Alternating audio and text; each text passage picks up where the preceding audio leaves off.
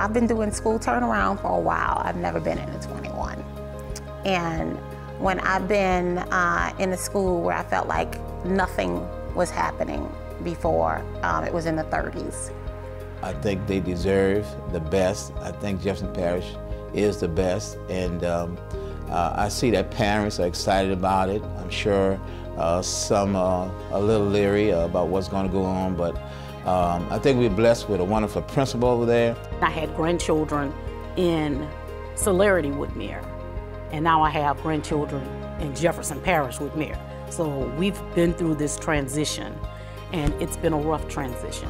In my opinion, there was no structure. Of course, I work in a cafeteria.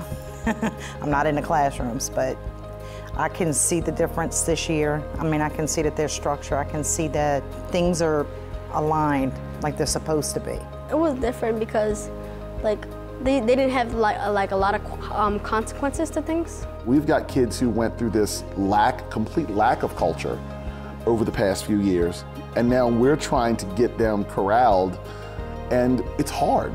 The structure of the classrooms are starting to settle. Like they understand, okay, I do have to do my work.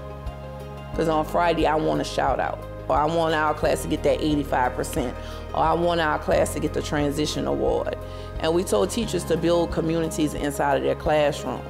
If structure is done in a, in a, in a positive environment or and students understand that, you know, this is a loving environment, people care about us, and they care that we learn. They care and they want us to learn. I think if they understand that and that's what's happening in, you know, in our classroom, the possibilities are just endless. I'm used to the Celerity because there are no rules and everything, and kids were just out of place and they do whatever they want. But here, everything is fixed and I'm loving it because without structure, everything would just fall apart, and we don't want that. Underperforming schools, the expectations have been low, the accountability has been low, not just for kids, but for teachers. Uh, so for me, coming into this, I knew I needed to tackle that culture piece. Woodmere Elementary is really a unique um, but exciting opportunity for us in Jefferson Parish Public Schools because we get to start fresh with the school, fresh leadership, uh, students returning back to us, and I think it's an obligation that we have to do right by these kids. I thought about what are the values I want to instill in kids. I want them to have pride.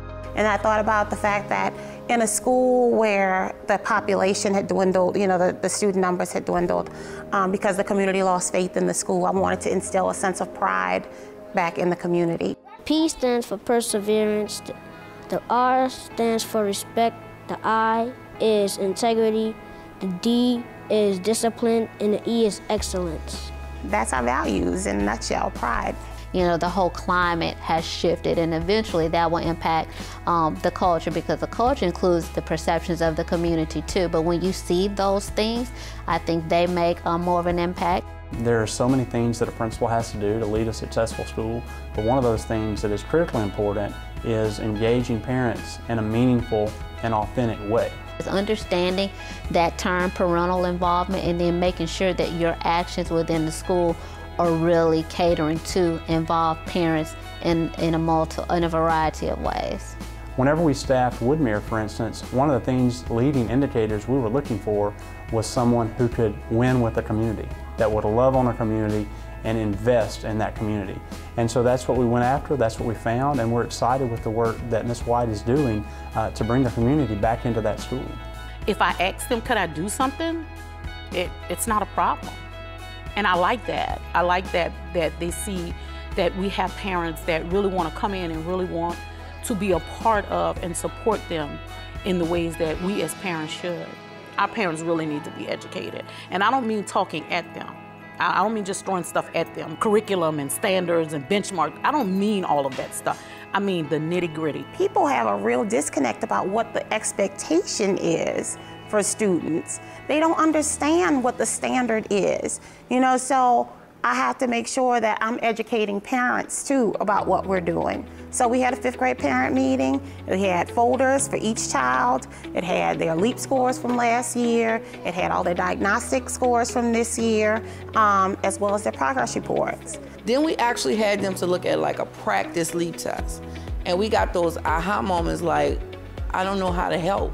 The highest performing fifth grader scored at third grade level in reading. So what is that telling you about the level of instruction that they've received and the gaps in their learning right now? We don't have time to play behind discipline. There will be consequences for it. Okay, we will also reward the great behavior because we are big on PBIS.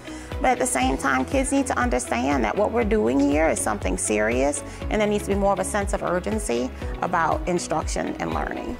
The leadership here is, is really great. They're both very supportive, open to access if I have questions or comments or concerns or anything.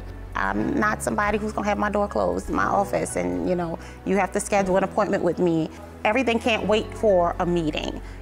I have learned more from Ms. Heimel in the very short time this first quarter than I've learned under any master teacher. I'm just here to build them professionally and to make them reflective practitioners. We all have to reflect. We all have to have a growth mindset. We can't stay stagnant. One of my um, quotes are, when you become unteachable, unpack your bag because you're going to stay there for a while. You're not going to grow. You're not going to learn. You're going to be stuck. And we don't need anybody stuck. If they're gung-ho and they're working hard and they're here long hours, it makes it easier for me to push up my sleeves and join them in what they're trying to do. They're fantastic leaders for us. We have a, a, school pledge that we say every morning together. I pledge today to do my best in reading, math, and all the rest. I promise to obey the rules in my class and in my school. I respect myself and others too. I expect the best in all I do. I'm here to learn all I can, to try my best and be all I am. We can't hide that Wildcat pride.